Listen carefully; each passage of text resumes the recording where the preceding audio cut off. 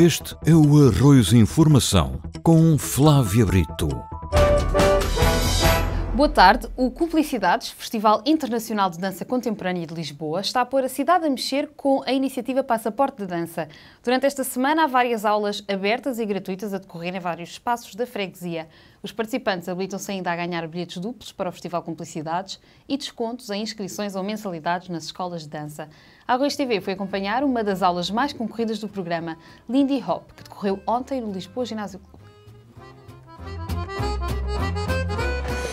Eu decidi vir experimentar Lindy Hop porque gosto muito do, da dança dos anos 20, entre os anos 20 e anos 40. Uh, já tinha praticado jazz, mas era jazz contemporâneo. Uh, decidi experimentar também a aula de ontem de vintage jazz e adorei. Esta dança cativou-me por essencialmente ser uma dança social ser dançada com, com outro par e hum, de certa forma acabar por sentir a energia do outro também e de deixar fluir este swing de, do Lindy Hop. E ainda ganhou o passaporte para o Festival Complicidade, já conhecia? Uh, sim, já tinha ouvido falar do Festival Complicidades, sabia que ia ser realizado o sorteio, mas não estava nada à espera. Não é habitual uh, ganhar nada e fiquei mesmo surpreendida e vou aproveitar porque adoro dança.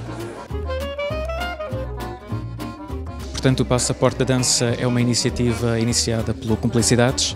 Queríamos oferecer a Lisboa, ao freguês, uma vasta oferta de danças. Portanto, queríamos pôr a cidade a dançar, no fundo, eh, e através disso divulgar o nosso, o nosso festival.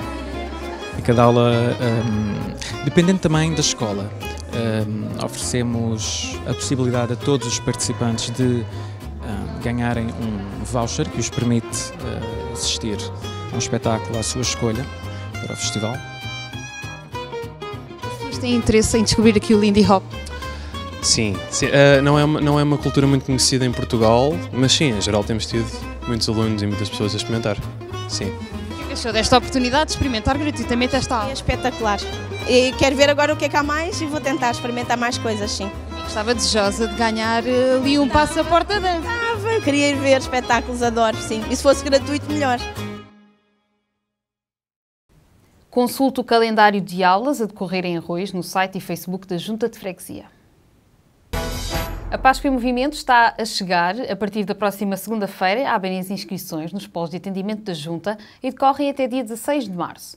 A Junta de Freguesia de Arroz promove uma vez mais este programa de atividades desportivas, lúdicas e culturais, feito a pensar nas crianças e jovens dos 6 aos 17 anos, mas também nos pais que muitas vezes não têm onde deixar os filhos. A ação vai realizar-se de 26 de março a 6 de abril, durante o período de pausa escolar.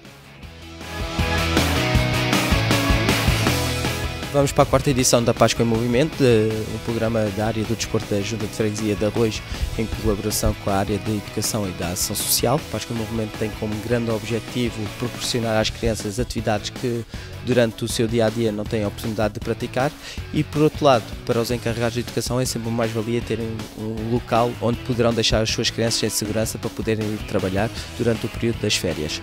As inscrições vão decorrer a partir do dia 12 de março até 16 de março. Durante essa semana pode fazer a inscrição dos seus educandos em qualquer polo da Junta de Freguesia de Arroios. Haverá três modalidades de pagamento, uma modalidade para fregueses e aí serão divididos pelos escalões da, da Segurança Social. Depois existe uma segunda modalidade que é para pais que trabalhem dentro da freguesia ou para as crianças que frequentem as nossas escolas. E uma terceira modalidade que tem a ver com crianças que não tenham, ou encarregados de educação que não tenham qualquer ligação à freguesia. A ação vai decorrer de 26 de março a 6 de abril e, portanto, esperam-nos mais duas semanas de muita diversão e alegria. Uh, venham participar, inscrevam as vossas crianças, elas estarão com certeza seguras connosco e é sempre uma mais-valia este projeto para, para os encarregados de educação. A partir de hoje e até sábado, o Núcleo de Saúde mais próxima da Santa Casa da Misericórdia de Lisboa está a promover em Arroios uma ação de sensibilização sobre a importância de rastrear os cancros da mama e da próstata. A ação vai realizar-se na Alameda Dom Afonso Henriques, das 9 h 15 às 13 horas e das 14 às 17h45. Neste momento estamos a a falar sobre a prevenção do cancro da mama e da prevenção do cancro da próstata.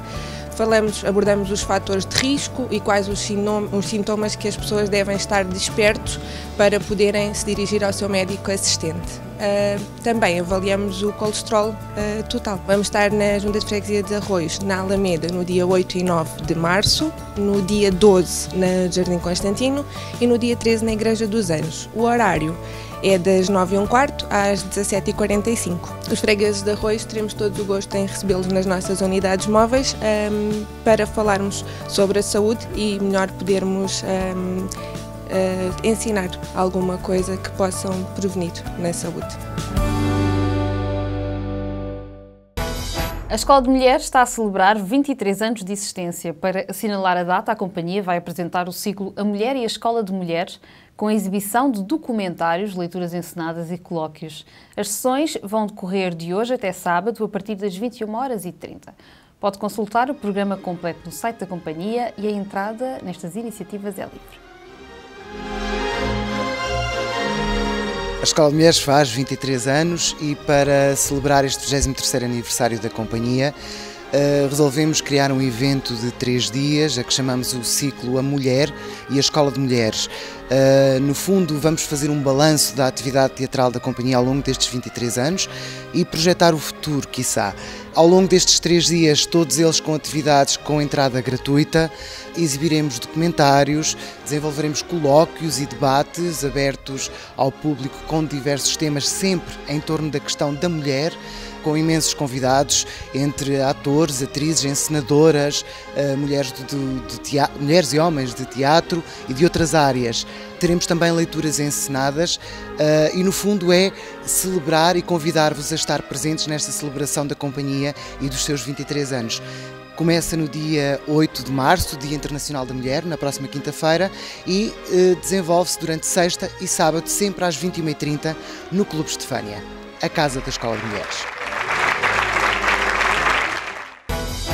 A Junta de Freguesia de Arroios distribui refeições confeccionadas a cerca de 50 agregados familiares através do projeto Zero Desperdício. Esta é uma resposta do cartão Mais Arroios que permite apoiar a população carenciada da freguesia. A Arroios TV foi saber mais sobre o projeto junto de alguns intervenientes. O Zero Desperdício é um projeto, é uma resposta do cartão Mais Arroz, que consiste na distribuição de refeições confeccionadas à população beneficiária do cartão Mais Arroz nesta Valência. Funciona de segunda a sexta-feira. É feita a recolha com várias entidades com as quais nós temos parceria, é feita a recolha dessas refeições, depois dessa recolha é feita a distribuição aos utentes que beneficiem dessa valência do cartão Mais Arroz temos nove parceiros, nove entidades parceiras, que são basicamente refeitórios, pastelarias, hotéis. Pronto, e podem candidatar-se a esta parceria, que são bem-vindos quem estiver interessado, que nós depois articulamos aqui para marcar a hora de fazer essa recolha, de forma a conseguirmos chegar a mais pessoas. Estou englobada no projeto da ação social, eh, que engloba o zero desperdício, e dou uh, comida confeccionada que a Junta de Freguesia de Arroz tem com diversos parceiros e vamos fazer a recolha dos alimentos e depois distribuímos aqui o zero desperdício e faço a limpeza do espaço também, mantenho as, as instalações limpinhas e organizadas Neste momento temos cinco voluntários que dão apoio. Todos os dias, de segunda a sexta-feira, vem um voluntário diferente. Beneficiam desta resposta cerca de 50 agregados, o equivalente a 64 indivíduos. Uh, gosto muito de fazer isto. Uh, e sinto, sinto, sinto que o voluntariado é das melhores coisas que a gente pode estar a fazer aqui neste momento. Se o voluntariado é aqui dentro, enquanto aqui houver que fazer, é isso que nós temos que fazer. Quantas vezes é que vem cá ajudar? Uh, já cheguei a vir três vezes por semana, agora só venho duas. A gente enriquece como pessoa, não é? Porque contactamos com muita gente, não é? Muitos que a gente já conhecíamos aqui, nós moramos sempre aqui na área, e outros que a gente não conhecia, que passamos a conhecer também, não é?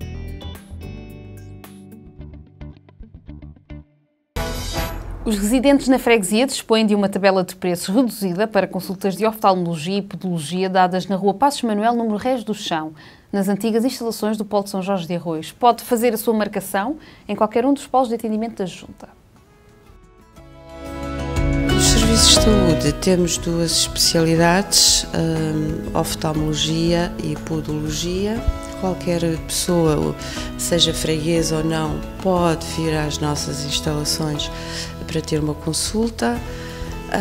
Essas consultas podem ser marcadas por telefone ou diretamente nos polos, em qualquer polo. São sempre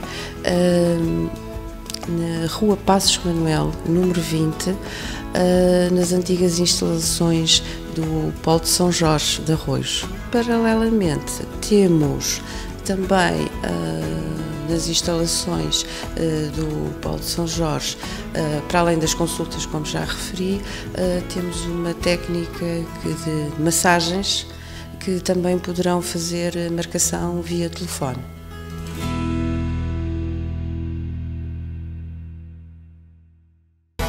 São as notícias que marcam a atualidade da freguesia. Nesta quinta-feira, fique desse lado e continue a acompanhar a Arroz TV, uma televisão que nos abraça.